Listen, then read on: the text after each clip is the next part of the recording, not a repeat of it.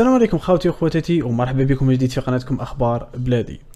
مراد حماري آه، أقصد مراد طهاري يستهزئ بالقارئ الجزائري المشهور عبد الحازي عبد العزيز سحيم. وكلنا نعرفه بلي عنده صوت ملائكي الله يبارك.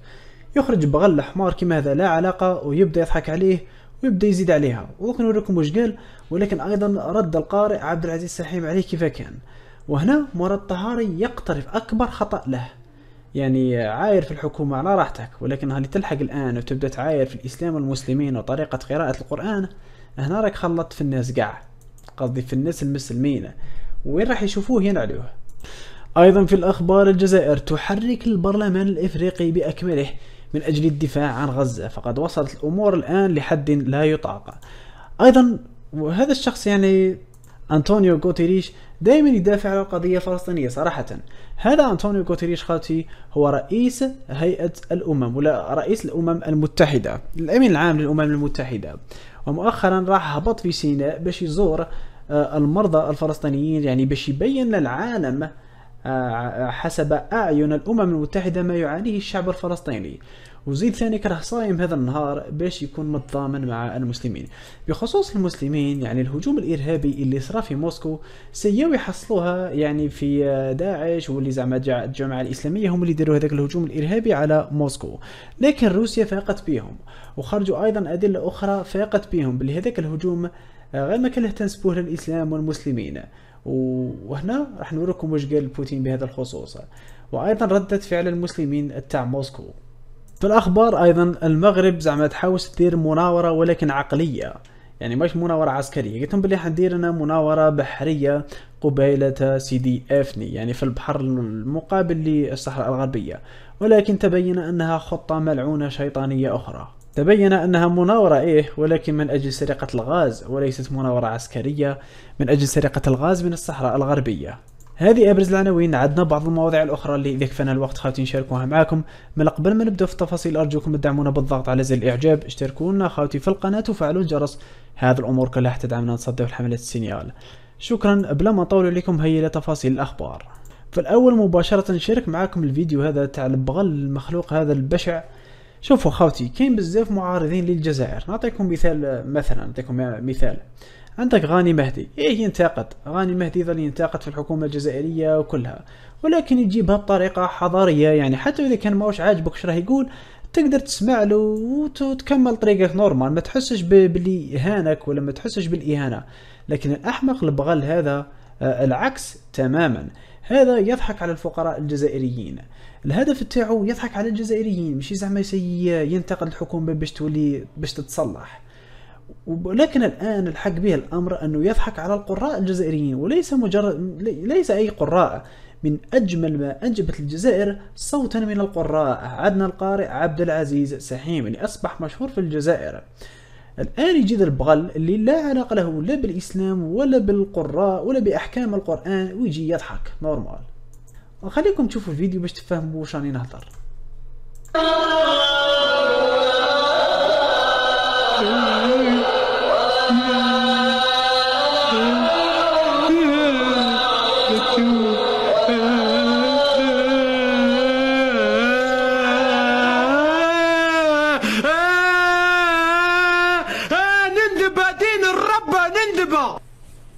وراك وفين غادي كما يقولوا خاوتي المغاربة؟ وفين غادي كما يقولها جارنا هذا؟ وفين غادي ودين أمك فين غادي؟ وفينا. وش ف... وش قلقوا في قراءة آه، قارئ للقرآن؟ كذا ماش يدير ال politique. ماش حاكم ماش داير maire ولا حاكم والي وراح حاقر المواطنين. راه يصلي بالناس يكره خاطيك. عليه راك تاكل في روحك كيما هاك. سبحان الله يعني حتى الرد تاع الإمام كان راقي. مش كيما أنا نقول عليه حمار. شوف الرد تاع الإمام كيف داير خاطي. هداهم الله يعني يحاول يحط يعني بعض الآراء أو التعليقات السلبية التي تنقص من شأن القراء والعلماء بصفة عامة. يعني في هذول الناس لا نعرفهم لكن ممكن هذا الشخص هو أعلم منك. من أنت حتى تتحدث في هذا العالم مثلا؟ إذا عجبك العالم هذا اللهم بارك ما عجبكش يعني. زم الصمت وهذا الرد هذا حتى ما كان اللي هو خاوتي كان على عامة الناس اللي زعما تنتقد هكا العلماء أما البغل هذا فحسابه عسير لأنه الناس كان عندهم واحد الغيرة خاوتي كان عنده على غيره على بلاده يعني تعايلوا بلاده تخلصها غالية. لكن شحال كاين من واحد عنده الغيره على الإسلام؟ حتى أكثر من بلاده ونضمن لكم خاوتي باللي هذا المخلوق راه ياكل رمضان. إحنا بالنسبة لينا كي سمعنا القرآن جانا عادي بصح هو كي سمع القرآن شغل ضربوا الجن. شغل كانت تصرى له الرقية الشرعية لو كان زاد تسمع القرآن شوية هكذا بالك يعاود يولي إنسان صحيح. أنتم واش راكم خاوتي في هذا الموضوع؟ خبرونا لكم في التعليقات. في الأخبار أيضا عندنا الجزائر تحرك البرلمان الإفريقي من أجل إفريقيا. وش دارت؟ آه من أجل فلسطين عفوا خاوتي. الجزائر تقدم مقترح في البرلمان الإفريقي يندد بالمجازر اللي راه يديرها كيان الصوص على الشعب الفلسطيني. وأيضا الإشادة بموقف جنوب إفريقيا في محكمة العدل الدولية دفاعا عن فلسطين. رغم أنه الاجتماع هذا تاع الاتحاد الإفريقي حتى ما كان هذا هو الموضوع تاعو. يعني الموضوع تاعو كان لمناقشة الترشيحات للمناصب الشاغرة والكل كان يحوس بلاده تحظى بالمنصب إلا الجزائر اللي خلت هذا الموضوع يتحدث عن فلسطين ما اهتمتش حتى بالمنصب تاعها. بخصوص فلسطين خاوتي عندنا هذا أنطونيو غوتيريش آه، الأمين العام للأمم المتحدة كان تحدث في السابق وقال كلام قوي مجرؤ حتى واحد يقولوا في آه، يعني هذو الهيئات الأممية. قال باللي هجوم فلسطين تاع السابع من أكتوبر على على الإسرائيليين يعني ما جاش من العدم. جاء بعد وعد السفرونس طويلة تاع أزيد من 75 سنة من الاحتلال والتضييق. هذا الأمر خاوتي أغضب كيان الصوص ولو يطالبوا باش يطردوا هذا أنطونيو غوتيريش. الآن أنطونيو غوتيريش هذا خاوتي وش دار؟ باش يخلي الرأي العام يشوفوا مليح واش راح يعانوه الفلسطينيين أهبط وراح للسيناء. يعني راح لمصر وين راهم متواجدين الكثير من المرضى الفلسطينيين يتعالجوا. وكي راح ثم خاوتي في هذا الفيديو راكم تشوفوا فيه يعني مش حنشاركه معاكم لأنه حاب نختصر الأخبار. جاء وقال لهم باللي حنايا رانا جينا نوريكم مدى الفظاعة اللي راه يعاني منها الشعب الفلسطيني. وهذا اليوم راح يكون راح نديروا للتضامن معكم وراح نصوم معاكم رمضان ونفطر معاكم. ومن ومن هذا المنبر أقول يجب الوقف الفوري لإطلاق النار. توقفوا عن اللعب بحياة الأبرياء. وخلال كلامه راح دار دورة عند المرضى الفلسطينيين وتحدث معهم.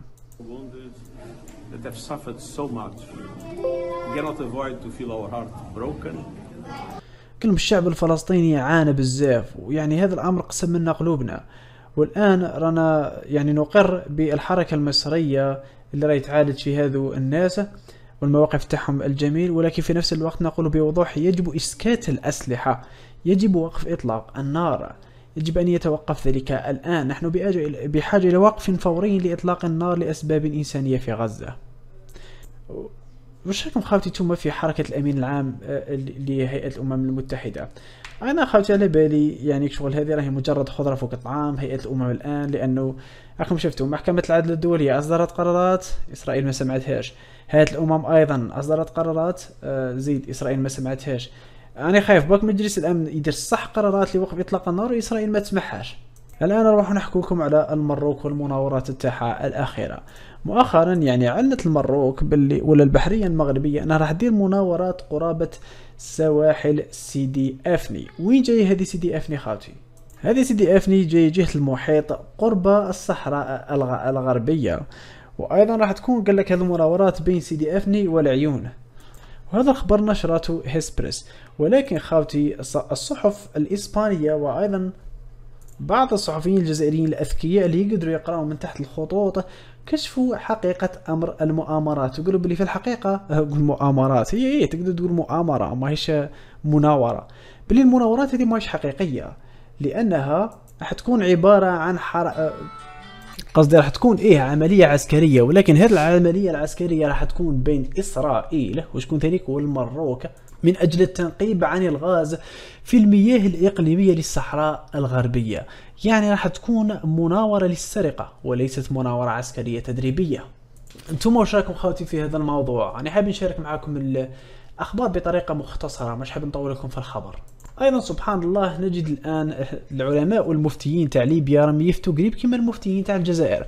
واحد الوقت كنت شاركت معكم إمام جزائري يقول باللي في الوقت اللي رانا فيه واش رانا نشوفوا السعودية دير أصبح الأمر ضروري. أنه إذا درت عمرة واحدة غير ما كان دير الزوجة لأنه إذا درت الزوجة حرام عليك. والله كان حتى اللي قالوا هاك خاوتي كان حتى اللي بداو يقولوا ماشي ضروره تروح دير العمرة ولا حجة لأنه هذيك الأموال تستعملهم السعودية. باش يعني تقتل بهم آه اليمنيين ولا تدعم بهم كيان الصوص. راكم تعرفوا حكاية السعودية خاوتي هنا شفنا كامل المواقف تاعها الأخيرة. الآن مفتي ليبي يقول نفس الأمر بل وأكثر. قال لهم دفع الأموال لأداء العمرة أكثر من مرة إهدار وتبذير للأموال. وأهل غزة أولى به. يعني إذا راك حاب تدير عمرة وراك حاب تفرح ربي راح تبرحهم للشعب الفلسطيني. خير اللي راه يعاني فأنك راح تنقذ حيوات حياة كثيرة للشعب الفلسطيني. وما أنقذ نفسا فكأنما أنقذ الناس جميعا. وأرى أنه محق خاوتي أنا تبين لي هذه أفضل صدقة ولا أفضل عمل خيري قادر تديره عوضا أنك تروح للعمرة. ودراهمك يروحوا في المكان الخطأ. بخصوص غزة خاوتي يقعدوا دائما. فمثلا الآن قال لك بعد وصول عائلة مراسل التلفزيون الجزائري من غزة وسام أبو زيد يوجه رسالة للجزائر. شوفوا يعني إحنا عندنا حتى الصحافة تاعنا تقاتل إلى جانب الفلسطينيين. سيادة الرئيس عبد المجيد تبون من أرض قطاع غزة ومن مدينة رفح المهددة بالاجتياح نقدم كل عبارات الشكر والتقدير لدولة الجزائر الحبيبة التي دائما عودتنا أن تكون مع فلسطين ظالمة أو مظلومة وعودتنا أن تكون مناصرة لقضيتنا في المحافل الدولية والسياسية. كل الشكر لدولة الجزائر وعلى رأسها سيادة الرئيس عبد المجيد تبون على اهتمامه بإجلاء أسرتي وزوجتي وأولادي إلى الجزائر. وكل الشكر لسفارة دولة الجزائر بالقاهرة والمؤسسة العمومية للتلفزيون التي واكبت هذا الحدث منذ البداية وساهمت في إنجازه. وشكر أيضا موصول لجمعية الهلال الأحمر الجزائري التي احتضنت عائلتي بكل ود وبكل احترام وبكل تقدير. طبعا هذول شغل الجزائريين ما دام كنت جزائري. إحنا استقبلوهم في بلادنا وكأنهم في بلدهم حتى الفلسطينيين الآخرين. الآن باختصار شديد خاطري راح اشارك معاكم شوي أخبار حول العملية الإرهابية الأخيرة في الروس وش جا فيها. العملية الإرهابية الأخيرة كانت معولة أمريكا تدير بها تضرب بها عصفورين بحجر. يعني تضرب روسيا اولا ثانيا حصلها في داعش تقول بلي آه امريك المسلمين إحنا خاطئين. وبعد معرفتهم أيضا بأن روسيا من أكثر الدول تقبلا للإسلام والمسلمين. الآن حبوا يعني يلطخوا سمعة هكا المسلمين بهذو داعش اللي أصلا المسلمين ما يعتبرهمش منهم. خير دليل على ذلك أنه هذو داعش الملعونين الله ينعلهم إن شاء الله عمرهم ما يخدموا مصالح الإسلام والمسلمين ولا الدول المسلمة. سبحان الله دائما تلقاهم يموتوا على أمريكا وإسرائيل ويسيوا يخدموا لهم مصالح تاعهم. كنت شاركت معكم فيديو في السابق نهار ترامب قال بلي داعش في الحقيقة كريها أوباما يعني أمريكا هي اللي كريتها ولا المصابين تاعهم يروحوا يتعالجوا في إسرائيل. يعني رانا عارفين هذاك القصص هاي ولكن ما يثبت ما قالته روسيا بأنه تنظيم داعش كله راه موجود في أوكرانيا ربما كان محقا. فمثلا شوف هذا الخبر شو يقول. قال لك breaking news one of the terrorists خليني ما احكوهاش بالانجلي تعود يوتيوب تفيق وتضربنا خاطر ما يفهموا الانجلي شوش قال لك قال لك عاجل أحد الإرهابيين الذين قاتلوا لصالح القوات المسلحة الأوكرانية في أوكرانيا في عام 2022 رستم أزهيف وهو أيضا مواطن أوكراني. هذا خاوتي الوجه راكم شايفين عليه خاوتي أحد الإرهابيين اللي هجموا على الموقع التجاري هذا تاع موسكو اللي مات فيه 40 روسي وأصيب فيه 100 وهوليك المعلومات تاعو. تبين أنه يعني شغل مواطن أوكراني ولا كان في الأرمي الأوكراني كاع وهوليك التاريخ تاعو بأكمله. وشوفوا وش قال الرئيس الروسي بهذا الخصوص. الأمر الأساسي الآن هو عدم السماح لأولئك الذين يقفون وراء حمام الدم هذا بارتكاب جرائم جديدة وفيما يتعلق بالتحقيق في هذه الجريمة ونتائج عمليات البحث العملياتية. أستطيع الآن أن أقول ما يلي. جميع منفذي العمل الإرهابي الأربعة الفعليين عثر على كل من أطلقوا النار وقتلوا الناس.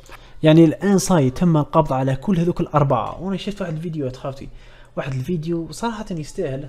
واحد من هذو المجرمين الإرهاب قطعوا له وذنيه وكلهم له خافتي في الفيديو وقاموا بالاعتراف بكل شيء هذوك الإرهابيين. يعني روسيا الآن راي عندها الرسمي تعمل الذي حدث. بصح تابعوا زاد قال الرئيس الروسي هنا. حاولوا الاختباء وكانوا يتحركون باتجاه أوكرانيا. وهناك بحسب البيانات الأولية تم إعداد معبر للحدود من الجانب الأوكراني بشكل عام. جرى تهريب أحد عشر شخصا من المحتجزين. وهذه واعرة خاوتي. هنا واش قال لهم؟ قال لهم بلي يودي أوكرانيا راهي متواطئة لأنه هي كانت دايرت لهم المعبر باش يدخلوا وباش حتى يخرجوا.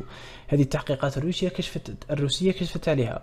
ودوك قالت لهم الروسيا هنا قالت لهم دوك نزيد نديروا تحقيقات. وإذا اكتشفنا بلي لأوكرانيا يد في هذا الأمر القاده تاعهم compris غادي يطير الراس تاعهم. فأنتم راكم في هذا الموضوع خاوتي؟ خبرونا رايكم في التعليقات. كما اشترنا شاركنا معكم أبرز عناوين أخبار اليوم. خاوتي نشكركم جزيل الشكر على المشاهدة وسنلتقي مع المزيد من الأخبار والمواضيع. إلى اللقاء.